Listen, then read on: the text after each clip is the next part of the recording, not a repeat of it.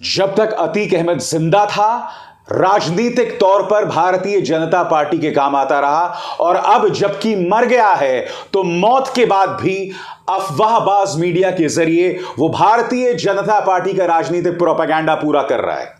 कैसे? मैं आपको बतलाना चाहता हूँ दोस्तों एक एक करके। सबसे पहले दोस्तों, मैं आपके सामने पेश कर रहा हूँ साल 2018 जब फूलपुर में उपचुनाव हुए थे। तो जी न्यूज़ उस वक्त क्या कह रहा था? दोस्तों, मैं आपको पढ़ के सुनाना चाहता हूँ। साल 2018 फूलपुर लोकसभा उपचुनाव। अतीक अहमद के मैदान में उतरने से समाजवादी पार्टी को चुनौती, भारतीय जनता पार्टी का फ़ायदा। मैं आपको याद दिलाना चाहूँगा दोस्तों, कि 2018 में भी अतीक अहमद जेल में बंद था। मगर इस व्यक्ति ने जेल से चुनाव लड़ा था। विशेष इंतज़ाम किए गए थे ताकि अतीक अहमद पर्चा भर सके, ताकि समाजवादी पार्टी के मुस्लिम वोट्स कटें और ज़ाहिर सी बात है मुस्लिम वोट समाजवादी पार्टी के कटेंगे तो फ़ायदा किसको होगा? हालाँकि प्रोपगैंडा काम नहीं आया, वो बात अलग है। मगर मैं जो आपको बतलाने का प्रयास कर रहा हूँ, वो सिर्फ़ ये कि हर बार, चाहे फूलपुर हो, चाहे इलाहाबाद हो, जिसे प्रयागराज कहते हैं, इन तमाम जगहों से अक्सर अतीक अहमद ने भारतीय जनता पार्टी को फ़ायदा पहुँचाने का काम किया है। और दोस्तों, फूलपुर का उपचुनाव यह पहली बार नहीं है। जब अतीक अहमद ने राजनीतिक तौर पर भारतीय जनता पार्टी की मदद की थी। दूसरी मिसाल मैं आपको देता हूँ, दोस्तों। साल 2008 ये वो दौर है, दोस्तों, जब वामपंथी दलों ने कांग्रेस सरकार से समर्थन वापसी कर ली थी। क्यों? क्योंकि वो इंडो यूएस न्यूक्लियर डील के खिलाफ थी। यानी वामपंथी दल चाहते थे कि मनमोहन सिंह सरकार गिर जाए। यहाँ पर वामपंथी दलों का साथ भारतीय जनता पार्टी भी दे रही थी, क्योंकि बीजेपी भी चाहती थी कि मनमोहन सिंह सरकार गिर जाए। समाजवादी पार्टी सामने आती है और कहती है कि हम मनमोहन सिंह सरकार का साथ देंगे। उस वक्त समाजवादी पार्टी में सांसद अतीक अहमद थे, मगर अतीक अहमद जेल में बंद थे।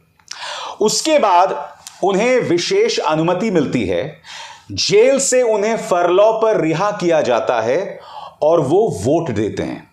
अब आप कहेंगे कि क्या उन्होंने वोट कांग्रेस के पक्ष में दिया था? नहीं साहब, समाजवादी पार्टी का फरमान था विप जारी था। बावजूद इसके, अतीक अहमद ने यूपीए यानी कांग्रेस के खिलाफ वोट किया था। यानी कि भारतीय जनता पार्टी के पक्ष में ताकि मनमोहन सिंह सरकार गिर जाए। हाथ कंगन को आरसी किया। दोस्तों, आपके सामने दो प्रमाण। मैं आपके सामने लोकसभा से वो दस्तावेज़ पेश कर रहा हूँ। उन लोगों के नाम जिन्होंने यूपीए सरकार यानी कांग्रेस सरकार के खिलाफ वोट किया था। वो कौन कौन है? आपके स्क्रीन पर श्री अब्दुल्ला कुट्टी वासुदेव आचार्य प्रसन्न आचार्य, योगी आदित्यनाथ, आनंद राव विठोबा अब्दुल एल के आडवाणी, और इस नाम को देखिए, अतीक अहमद। अतीक अहमद ने समाजवादी पार्टी के विप की अनदेखी करते हुए उस वक्त यूपीए सरकार के खिलाफ वोट किया था। और नतीजा क्या हुआ था दोस्तों? समाजवादी पार्टी ने क्रॉस वोटिंग के चलते, इस अविश्वास प्रस्ताव के दौरान क्रॉस वोटिंग के चलते छह लोगों को पार्टी से निष्कासित कर दिया था। और वो छह लोग कौन कौन है, मैं आपको पढ़ के सुनाना चाहता हूँ। वो छह लोग थे, अतीक अहमद और अफजाल अंसारी, राजकुमार बुधोलिया, जयप्रकाश रावत, एसपी सिंह बघेल और मुनव्वर हसन। इन छह लोगों को समाजवादी पार्टी ने बाहर का रास्ता दिखला दिया था, क्योंकि इन लोगों ने कांग्रेस के खिलाफ वोट दिया था, जबकि समाजवादी पार्टी ने बाकायदा विप जारी किया था। इसका अर्थ क्या हुआ दोस्तों? कि जब तक अतीक अहमद ज़िंदा था, वो भारतीय जनता पार्टी की किसी ना किसी तरीके से मदद करता रहा। उसकी राजनीति से विपक्ष को कभी फ़ायदा नहीं हुआ। उसकी राजनीति से अधिकतर फ़ायदा भारतीय जनता पार्टी को हुआ। और अब उसकी मौत के बाद मीडिया के ज़रिए एक बार फिर भारतीय जनता पार्टी की मदद हो रही है। मैं आपसे एक सवाल पूछना चाहता हूँ। सत्यपाल मलिक को लेकर मीडिया में ब्लैकआउट दरअसल क्यों है? मीडिया अनर्गल खबरें क्यों चला रहा है? जिसकी ढेरों मिसालें हैं। मैं आपसे एक सवाल पूछना चाहता हूँ। अफवाहबाज गोदी मीडिया लगातार झूठी खबरें दिखा रहा है अतीक अहमद को लेकर। भड़काऊ खबरें दिखा रहा है अतीक अहमद को लेकर। सरकार को इस पर कार्रवाई करनी चाहिए, नहीं करनी चाहिए? मैं आपको बतलाना चाहता हूँ दोस्तों, वो कायर मीडिया, जिसकी हिम्मत नहीं होती है सत्यपाल मलिक के दावों पर चर्चा करने के लिए, वो किस तरह का कचरा चला रहा है मैं आपको दिखाना चाहता हूँ। मसलन, पापा की ये परी क्या कह रही हैं? आपके स्क्रीन पर एबीपी न्यूज़ वॉच अतीक की हत्या के बाद रात भर करवटे बदलता रहा मुख्तार। पापा की इस परी से मैं पूछना चाहता हूँ, कृपया बतलाने का कष्ट करें कि जब से सत्यपाल मलिक ने करण थापर और प्रशांत टंडन को इंटरव्यू दिया है, जिसमें उन्होंने ये दावा किया है कि जब पुलवामा का हमला हुआ था तो उससे पहले सीआरपीएफ केंद्र सरकार से हवाई जहाज़ मुहैया कराने की अपील करते रहे थे, मगर उनकी इस अपील को गृह मंत्रालय ने खारिज कर दिया था।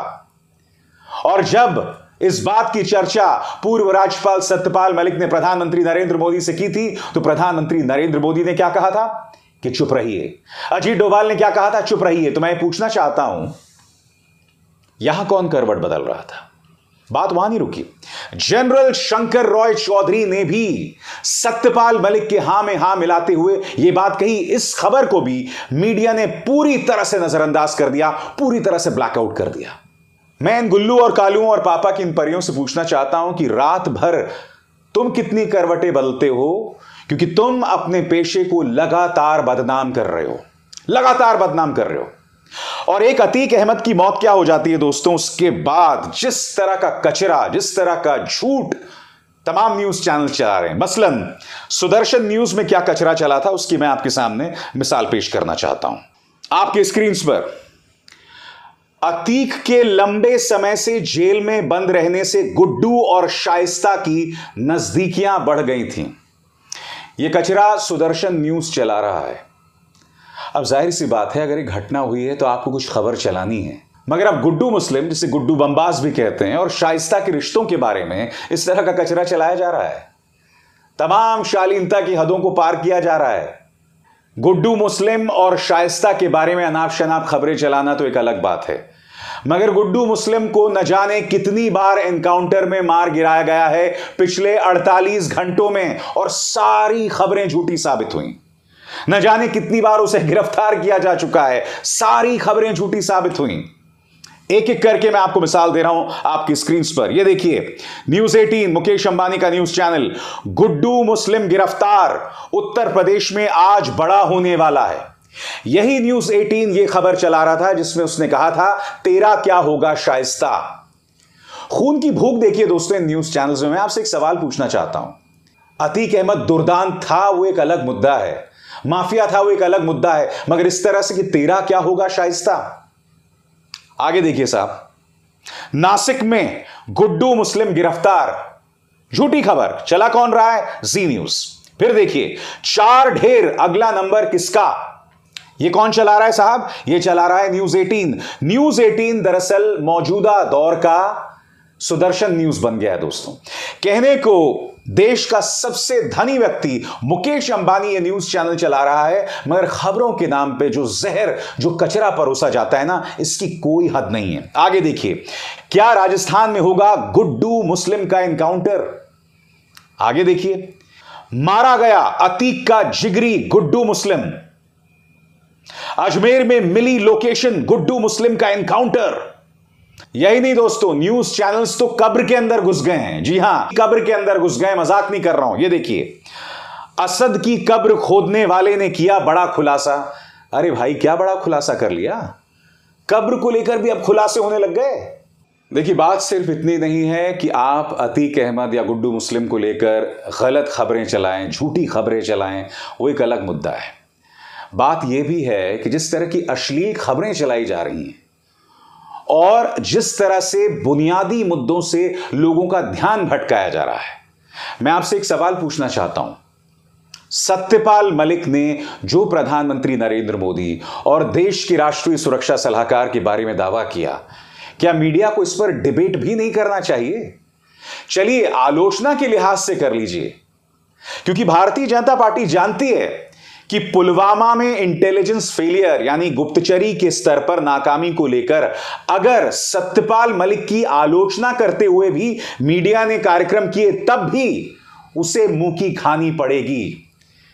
क्योंकि पुलवामा को लेकर जो इंटेलिजेंस फेलियर हुआ है ना, उसको लेकर सबूत जो है वो बेतहाशा है।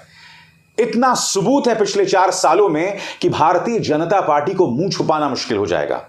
इसलिए सत्यपाल मलिक पर हमला बोलने के लिए अभी तक इन्होंने अपने गुल्लुओं, कालुओं और प्यारी प्यारी पापा की परियों का इस्तेमाल नहीं किया है। इसलिए इस खबर पर पूरी तरह से खामोशी है। और फिर यह मीडिया यह दावा करता है कि मुख्तार अंसारी रात भर करवट लेता रहा। एक तो मुझे समझ नहीं आ रहा कि मुख्तार अंसारी रात भर करवट लेता रहा। उसके बेडरूम के पास कौन खड़ा था भाई? या उसके बिस्तर के पास कौन खड़ा था? इतने बड़े जासूस हैं हाँ? वो शोले फ़िल्म याद है आपको? धर्मेंद्र और अमिताभ बच्चन केष्टो मुखर्जी, नाई को सुना रहे होते हैं कि जेल के कोने कोने में हमारे जासूस फैले हुए हैं। हकीकत यही है दोस्तों कि न्यूज़ चैनल्स अपना काम तो नहीं करेंगे, मगर इस तरह की नौटंकी बदस्तूर जारी है। एक बार फिर हाथ जोड़कर प्रार्थना, इस तरह के कचरा मीडिया को देखना बंद कीजिए, क्योंकि इससे आपका कोई फ़ायदा नहीं होने वाला है। ये गोदी मीडिया हँसी का पात्र है और उसके अलावा कुछ नहीं। अभिसार शर्मा को दीजिए इजाज़त। नमस्कार। स्वतंत्र और आज़ाद पत्रकारिता का समर्थन कीजिए। सच में मेरा साथी बनिए बहुत आसान है दोस्तों। इस ज्वाइन बटन को दबाइए और आपके सामने आएँगे ये तीन विकल्प। इनमें से एक चुनिए और सच के इस सफ़र में मेरा साथी बनिए।